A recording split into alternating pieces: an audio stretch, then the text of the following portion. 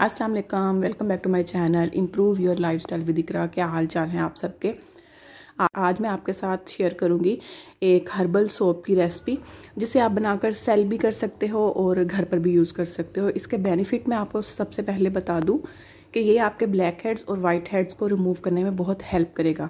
जो रोज़ के रोज़ आपके ब्लैक हेड्स और वाइट हेड बनते हैं, वो नहीं बनेंगे, वो क्लीन होते जाएँगे साथ साथ आपके स्किन को फेयर करने में हेल्प करेगा। अगर पिगमेंटेशन है टू टून स्किन है तो उसको ये कवर करेगा। बहुत ही आजमाया हुआ ये सोप है। मैं इसे काफ़ी टाइम से यूज़ कर रही हूँ और इसके रिव्यूज़ भी मैंने देखे हैं। मतलब मैंने अपने आसपास के लोगों को दिए हैं। बहुत अच्छे इसके रिज़ल्ट्स हैं। तो मैंने कहा, क्यों ना मैं आपके साथ शेयर करूँ? तो वीडियो को स्टार्ट करने से पहले अगर आपने मेरे चैनल को सब्सक्राइब नहीं किया तो सब्सक्राइब कर लो। मैं ऐसी ही वीडियो आपके लिए मज़ीद लेके आती रहूँगी, जिनमें मैं हेयर ऑयल बनाना बताऊँगी शैम्पू और भी डिफरेंट कलर के फ्लेवर के आपको सोप बनाना बताऊँगी। सबसे पहले खुद बना के यूज़ करो। और यकीन मानो कि आपको इसके बहुत अच्छे रिज़ल्ट मिलेंगे। आपको कोई और चीज़ लगाने की ज़रूरत नहीं पड़ेगी। आपका फेस क्लियर हो जाएगा, फेयर होना शुरू हो जाएगा जब आप इसे यूज़ करोगे। तो फिर उसके बाद आप इसे सेल करना, मैं कहती हूँ, आपका सोप बहुत बिकेगा बहुत बिकेगा। अगर आपके फेस पे एक्नी है तो वो भी इससे ख़त्म हो जाएगी। होता है ना, बाज़ लड़कियों को चिन एरिया में डार्कनेस होती है तो ये वो भी ख़त्म कर देगा। मैंने यहाँ पर नीम के पत्ते लिए हैं। मैंने बाहर जो दरख्त पर लगे होते हैं, मैंने वही पत्ते ले लिए हैं। थोड़े से मैंने पत्ते लिए हैं। इनको मैंने अच्छे तरीके से वॉश कर लिया था। एलोवेरा मैंने ले ली थी। एलोवेरा के एक से दो लीफ मैंने ले लिए थे और उसका मैंने गुद्दा निकाल लिया था।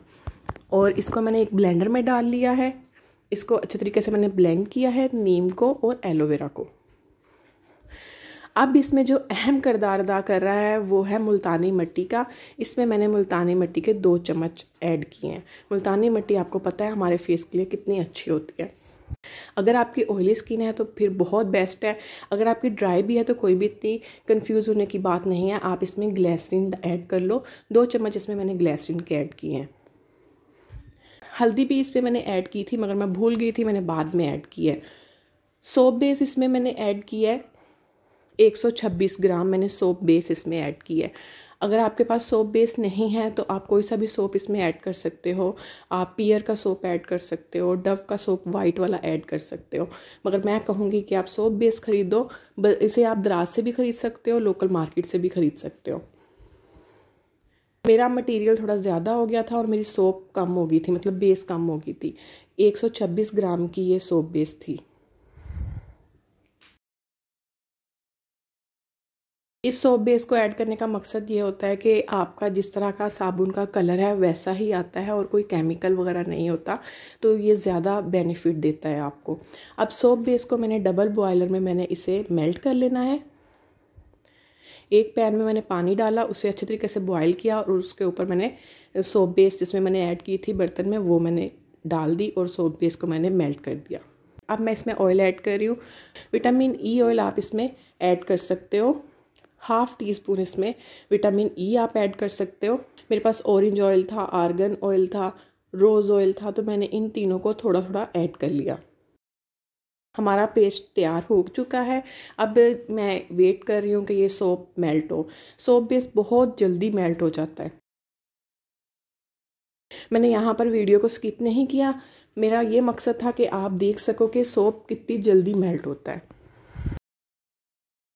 अगर आपके पास साबुन बेस कम है तो आप एक एक चम्मच ऐड कर लो। मुल्तानी मिट्टी का और ग्लेसिन का और एलोवेरा आप दो से तीन चम्मच ले लो। आपने फ्रेश लेनी है और नीम के जो पत्ते हैं, वो भी आप थोड़े से ले लो।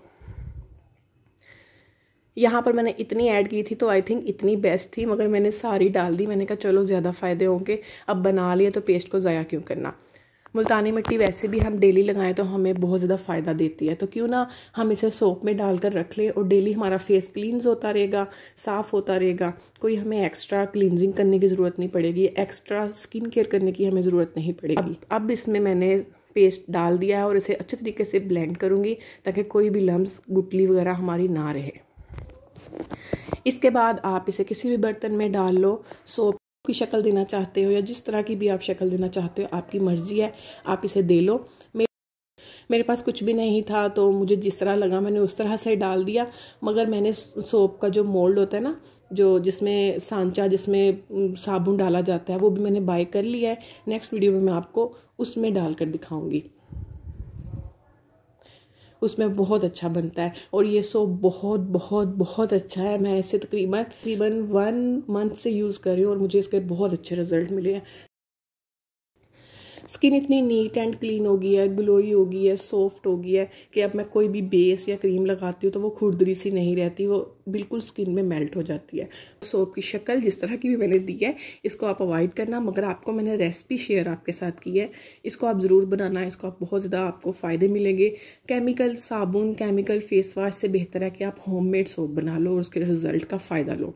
तो ये थी मेरी आज की वीडियो उम्मीद करती हूँ आपको मेरी वीडियो अच्छी लगी होगी। अगर अच्छी लगी हो तो मेरी वीडियो को लाइक कर दो और शेयर कर दो। मैं आपको मिलूँगी नेक्स्ट वीडियो में। ऐसी ही वीडियो मैं आपके लिए लेके आती रहूँगी। तब तक के लिए अल्लाह हाफिज़।